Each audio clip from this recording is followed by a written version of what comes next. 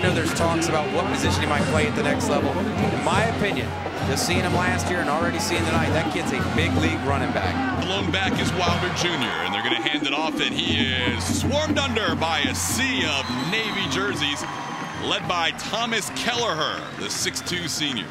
Well, you look at the St. Thomas defense. They are very, very good. Only giving up 97 points all season. I think it's going to be tough sledding inside as they try to run a little draw a trap play to the outside, but too much penetration from that defensive front. You talk about two seniors and a junior up there in this three-man front for St. Thomas.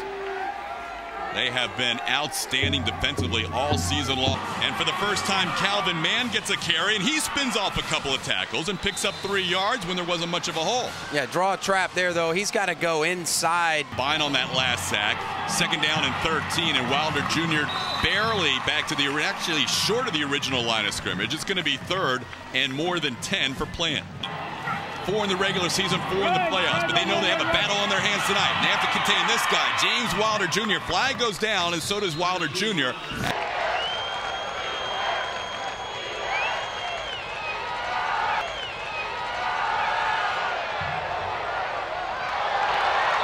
remaining if they are trying to get something going before the end of the half. They fake to James Wilder, and they throw over the middle, incomplete. If that's the case, let's take a look, Brady. Look at the top of your screen. 55, Thomas Kelleher coming in.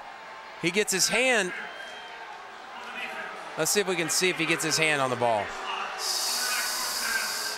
He gets his hand on the arm. Well, they've gotten quite a few hits on him the last two quarters. Sanders had to play the last seven quarters against Countryside and Lakeland, helped win the game against Lakeland.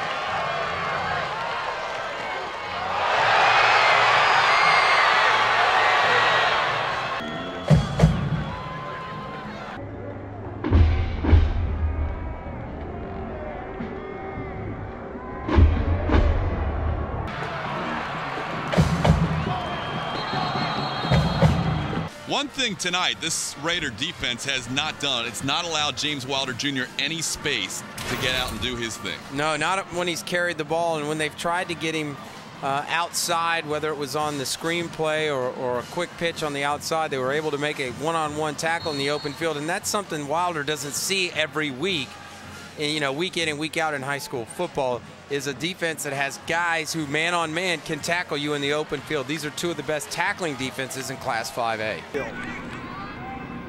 Kincaid, the shotgun in a world of trouble. Look at the speed of the Aquinas defense coming over to bring him down. Thomas Kelleher, the senior in on the wrap-up. Well, Kelleher not fooled that time. They were trying to run a little reverse fake zone read where they get it up in the pocket where they can run option, and they just never could get it done just because Kelleher was there to make the tackle in the backfield. Back is Wilkins. Kincaid escaping trouble. Still on his feet inside the 20-yard line. Thomas Kelleher wraps it up. Is close to the first down. told you about Jenkins, the outstanding weak side linebacker. He was there as a blocking back for Kincaid. Thomas Kelleher, the tackle for Aquinas. Retreating into the formation. And on the run again, Devontae Kincaid cannot escape the pressure coming from Aquinas. Again, the defense. Jelani Hamilton and Thomas Kelleher. We've already called their names two or three times. They've been into the action early. They've just done a nice job turning it back to the inside. Peyton does a nice job of that, and then the pursuit from the inside makes the tackle. Worst case scenario, St. Thomas Aquinas gets the ball around the 30-yard line. That's no big deal. Instead, they come up.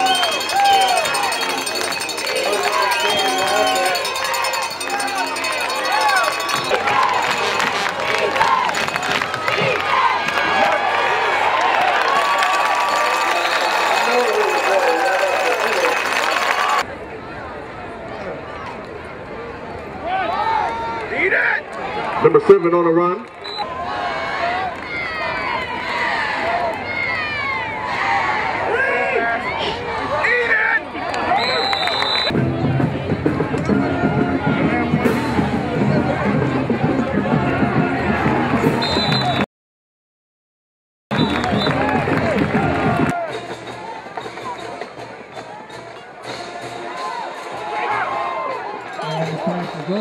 Incomplete.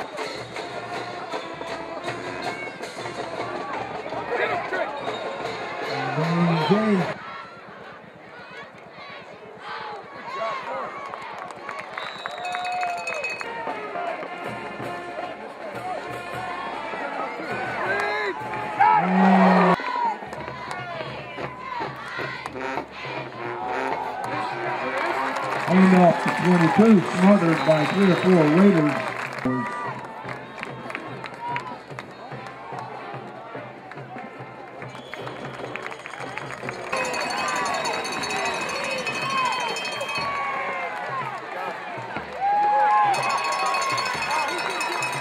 And, and number 22 off the right side, not much room.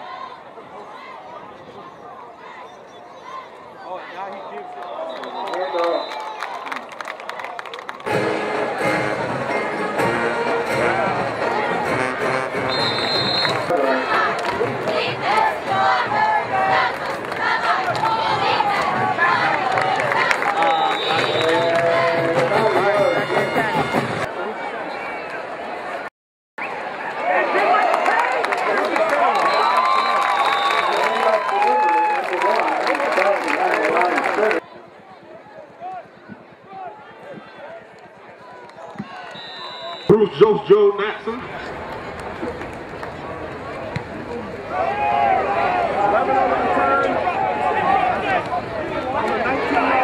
Come on the play.